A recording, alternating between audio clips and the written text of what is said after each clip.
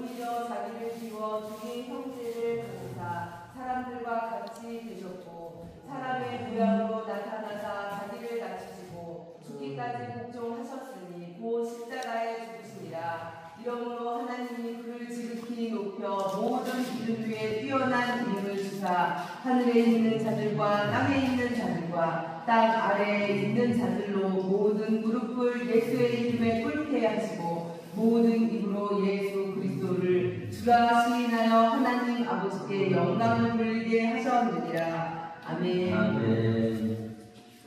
자, 우리 네. 마음을 마음을 품으라. 품으라. 사람들은요, 마음속에 뭔가 품고 살아요. 어떤 사람은 미움을 품고 살고, 어떤 사람은 돈을 품고 살고, 사람은 수집광이 돼가지고 수석을 모은다고 아침에도 돌멩이, 저녁에도 돌멩이, 잠잘 때도 돌멩이, 그 돌을 품고, 돌, 돌을 품고 살아요. 사람은 다 뭔가를 마음에 품고 살아요. 여러분들이 영원에 들어와 계시니까 이 마음속에 품고 있는 것이 뭔지를 저는 잘 알지 못하지만 아마도 외로움을 품고 사는 분들도 있을 거예요. 영원에 와가지고 잘 돌봐드리지만 그게 차지를 않는 거야. 그래서 애들 생각만을 하느라고 또 애들을 품고 지내시는 어르신들도 있을 거예요. 어떤 분은 너무 아프니까 아침에도 건강, 저녁에도 건강, 나는 건- 우리가 성경 빌리고서 앞부분에서 무엇을 읽고 지나가는가 하면요 복음에 합당한 생활을 하시고 복음에 합당한 생활을 하려면 뭐가 복음에 합당한 거냐 했을 때에 싸우지 말고 하나 되는 마음의 성도가 되시고 교만하지 말고 남의 나보다 낫게 여기는 겸손한 성도가 되시고 그리고 각각 내 일을 돌보고 다른 사람을 돌보는 성도가 되시고 무책임하고 성실하지 못하고 팽개쳐버리는 그런 인생이 아니라 나의 삶을 잘 돌보고 다른 사람의 삶도 잘 돌보는 사람이 되시오. 이것이 복음에 합당한 생활의 모습이라 그랬다는 거예요. 근데 잘 안 돼.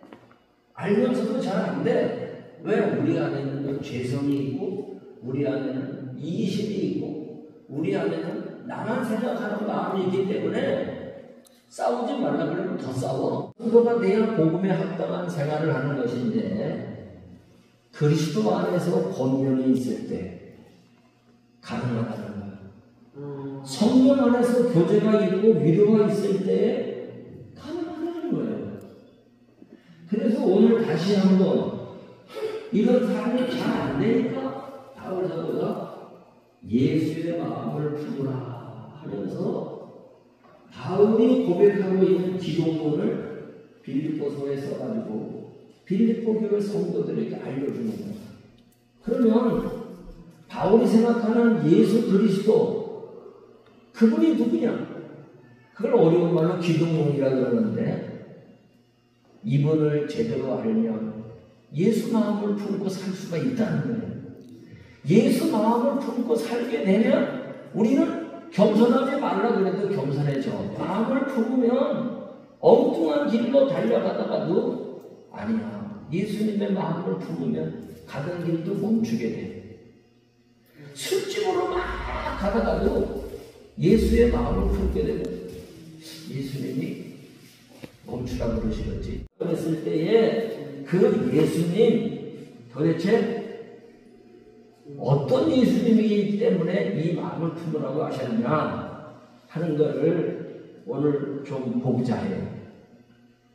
자, 예수님은요, 어떤 분이었냐면요, 하나님과 똑같은 분이셨는데, 오늘 성경에 그렇게 쓰여져 있어요. 너희 안에 이 마음을 품어라. 곧 그리스도 예수의 마음이니 그는 근본 하나님의 본체시고 하나님과 동등됨을 취할 것을 여기지 아니하시고 예수님이 하나님 자신이었다는 거예요. 예수님이 하나님과 동등되는 분이, 분이시였다는 거예요. 근데 그 예수님이 나 하나님하고 똑같은 분이요. 동등하신 분이요. 하는 지위를 주장하지 아니하시고 그거를 다 동등됨으로 여기지 아니하시고 자기를 비워 오히려 자기를 비워 종의 형체를 가지사 하나님이 종이 됐다는 거예요. 하나님이 종의 형체를 가지시고 사람이 됐다는 거예요. 그분은 하나님이셨는데 사람이 됐다는 거예요.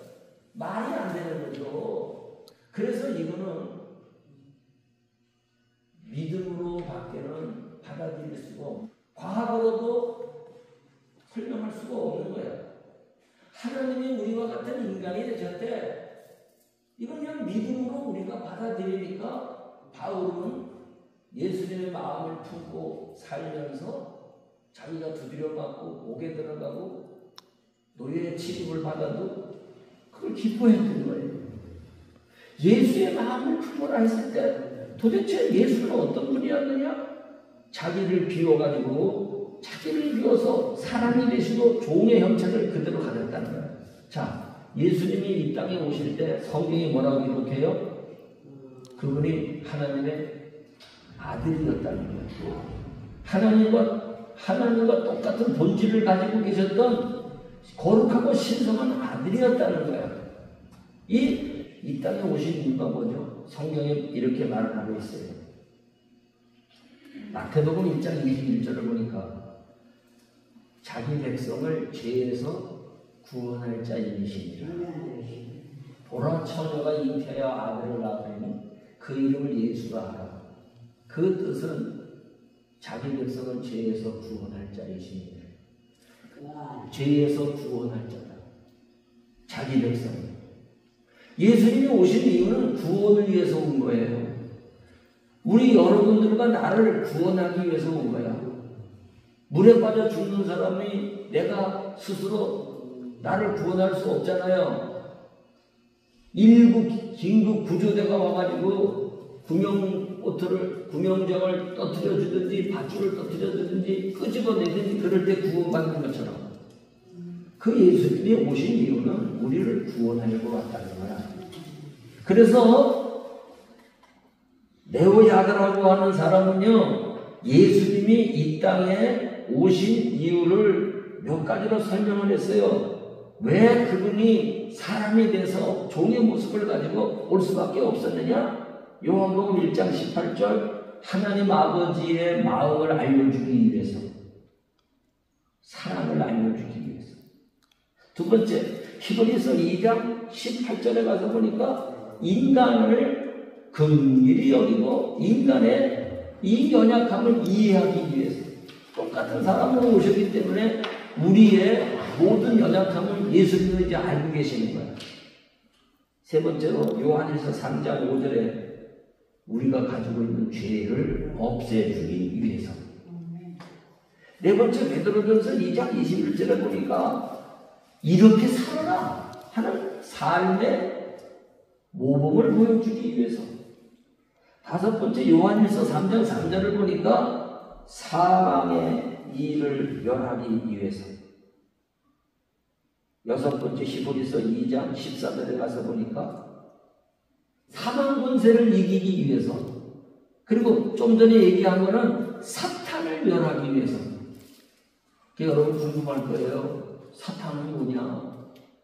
사탄은 악령이라 악령, 악한 거. 여러분 빛이 있으면 그림자가 있는 건 아시지? 선이 있으면 악이 있는 거 아시지? 악이 왜 있는 거야, 악이? 나쁜 짓 하는 악은 왜 있는 거야? 설명해 보세요. 이 악이 왜 있는 거야? 하나님은 악을 짓지 않았어요. 이게 사탄이야. 사탄의 말의 개념은 반대자라는 뜻이요.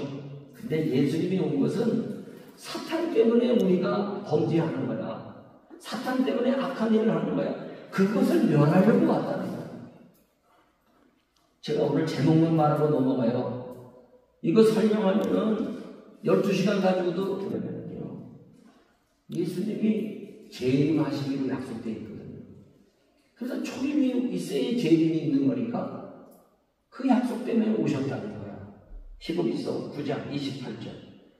그런데 이런 말을 한마디로 응축한다면 구원을 하기 위해서 오신 것인데 에레미야 33장 2절과 14절에 가서 보니까 이렇게 예수님이 오실 수밖에 없는 이유는 예언을 예언을 성취하기 위해서 구약은 옛날 약속이고 신약은 새로운 약속인데 구약에 있는 모든 옛날의 약속을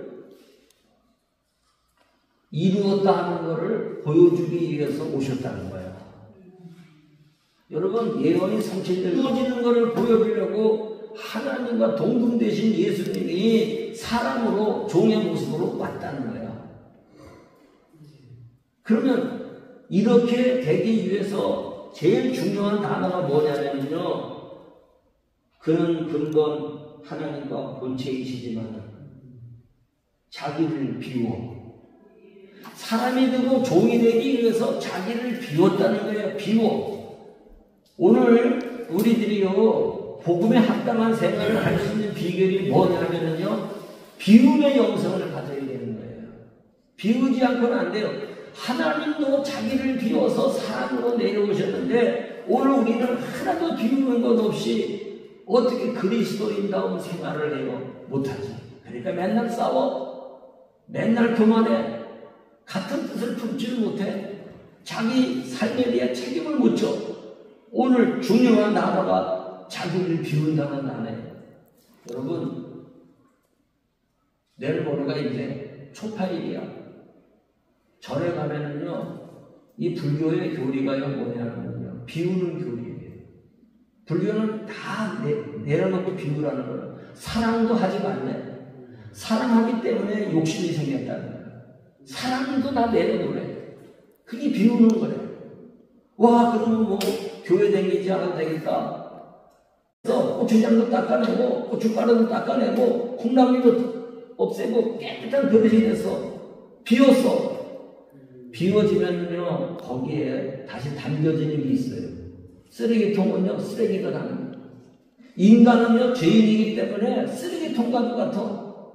이 쓰레기통과 같은 걸 아무리 비워봤자 하룻밤 자고 나면 또 담겨. 불교는 이거를 모르고 있는 거예요. 비우는 걸로 되는 게 아니에요. 비운 다음에는 어떻게 되느냐? 마음을 품어야 돼. 품도 품어야 돼. 그래서 교회 다니는 사람 뭐라 그래? 성령 충만하시오. 말씀 충만하시오. 은혜 충만하시오. 다른 걸로 그릇을 채워놔야지 다른 게 안 들어와. 쓰레기통도요, 쓰레기가 가득 차면 다른 거 더 이상 못 담아. 컵에도 물이 가득하면은요, 다른 물이 더 이상 못 들어와. 오늘 우리가 예배를 드리면서 예수님이 사람이 되셨다, 종이 되셨다. 비결이 뭐냐? 자기를 비웠다. 그럼 비운 걸로 끝나는 거냐? 아니야. 오늘 우리는 품어야 돼. 누구를 품어야 돼요? 예수님을 품어야 돼. 예수님을 품어야 쓰레기가 안 들어와. 예수님을 품어야 미움이 안 들어와. 교만이 안 들어와. 교만해지지요. 그러나 예수님의 마음을 품는 그 순간 겸손해지는 거야. 우리 입성일 때까지 분, 분을 품지만 얼른 가서 화해하는 거야. 난 사람하고 싸우고서 못 사는 사람이야. 내가 먼저 가가지고 좋은 말을 하고 화해를 하는 사람이야. 왜? 나도 예수의 마음을 품고 살아야 돼. 오늘 예수의 마음을 품어. 비웠어요? 자기를 비웠어요? 비운 다음에 그냥 두지 말아. 예수님을 따라서 비운 다음에는 예수님을 품으세요. 여러분, 예수님을 품으셨어요? 한번 따라해보세요. 나는 내 마음속에 예수님을 품었어요. 아멘. 이 예수님, 예수님께서 달래주세요. 슬픔도 점점 기쁨으로 바꿔주세요. 외로움도 점점 작은 외로움으로 점점 작아지게 해주세요. 예수님의 마음을 품어.